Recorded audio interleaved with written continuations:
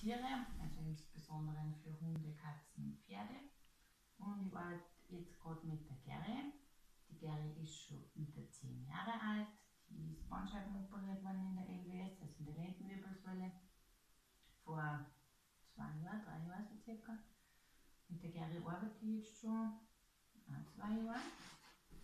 Ähm, sie hat Probleme auch mit den Gelenken, also es darf so in Arthrose sein. Man merkt jetzt natürlich durch das Wetter gut, es wird wieder kalt draußen, es wird feucht, der Wind geht recht, dass die Tiere einfach zunehmend in dem Bereich wieder Probleme haben oder dass sie mehr Schmerzen haben.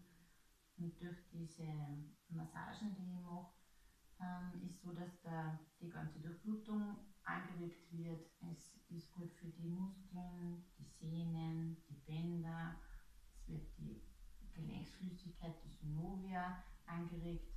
Ähm, und ein netter Nebeneffekt, das ist für uns ja